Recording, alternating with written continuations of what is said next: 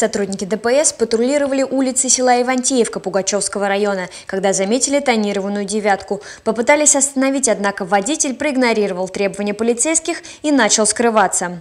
Автолюбитель вилял между фурами, выезжал на встречку и балансировал на грани, создавая реальную угрозу другим участникам дорожного движения. Тогда сотрудники полиции вынуждены были пойти на крайние меры.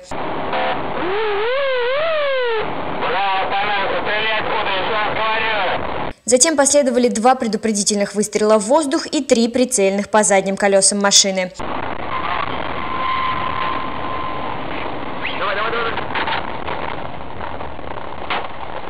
Нарушитель съехал в поле, засеянное кукурузой, и до последнего пытался уйти от преследования, пока простреленное колесо окончательно не спустило. Тогда молодой человек выбежал из машины, но полицейские и тут настигли его. Нарушителем оказался 18-летний житель Ивантеевского района. Установлено, что водительского удостоверения на право управления транспортным средством у него нет, а машина принадлежит его матери.